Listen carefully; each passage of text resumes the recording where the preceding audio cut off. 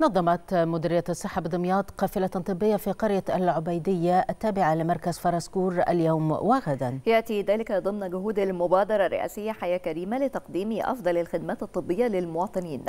وقال الدكتور السيد عبد الجواد وكيل وزارة الصحة بدمياط إن القافلة تضمنت عيادات متنقلة بكافة التخصصات الطبية ومعملا وصيدلية لصرف الأدوية بالمجان.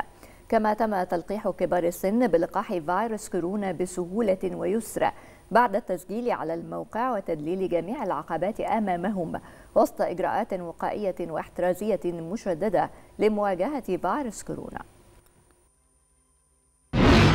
القافله الطبيه بتقدم خدمات طبية أكتر من 12 تخصص. عندي أكتر من 120 صنف دواء بالإضافة لوجود خدمات الأشعة والمعمل. بتخدم القافلة وبتخدم أهالينا في وحدة العبادية والقرى المجاورة ليها مثل الشيوخ والحوراني والمركز الرئيسي عندي كمان مدينة فرسكور. القافلة بتقدم الخدمات للمواطنين في كل التخصصات. إحنا القافلة بتقدم خدماتها الطبية من الصبح بدري النهارده. معانا 12 عيادة تخصصية معانا صيدلية تم إمدادها بكل الأدوية اللي بتغطي التخصصات الطبية الموجودة في القافلة في الصيدلية حوالي 130 صنف من الأدوية. معانا المعمل اللي فيه حوالي 40 تحليل. معانا الأشعة العادية والأشعة بالسونار. الدكاترة طبعا اللي موجودين في القافلة دول دكاترة أخصائيين واستشاريين بيقدموا الخدمة الطبية بشكل مجاني كلها للمواطنين. النهارده إحنا موجودين في قريه العبادية مركز فرسكور محافظه دمياط. القافلة النهارده معانا فيها 12 عيادة تخصصية زائد عيادة تنظيم الأسرة. بيشارك معانا فيها مجموعة من أكفأ وأمهر الأطباء الاستشاريين.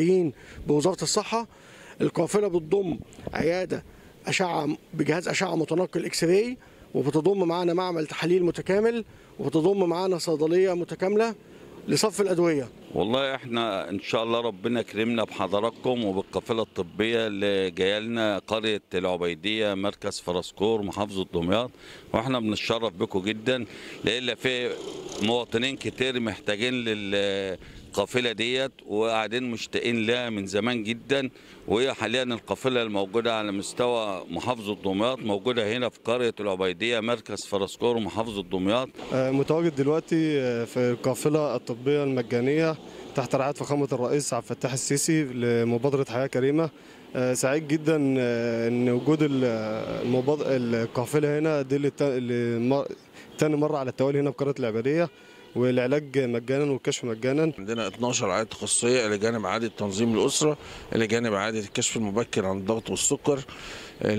كمان عندنا المعمل اللي فيه 40 تحليل وعندنا الأشعة العادية والأشعة السونار كل الفحوصات دي الهدف منها دعم قرار الطبيب تجاه المريض سواء كان المريض هينهي خدمته بالحصول على العلاج اللي متوفر الأدوية اللي بتغطي كل التخصصات المتاحة أو إن هو هيبدأ إن هو يحوله إلى لاقرب مستشفى مركزي سواء كان هيستصدر قرار علاج نفق الدولة أو هيعمل عملية جراحية.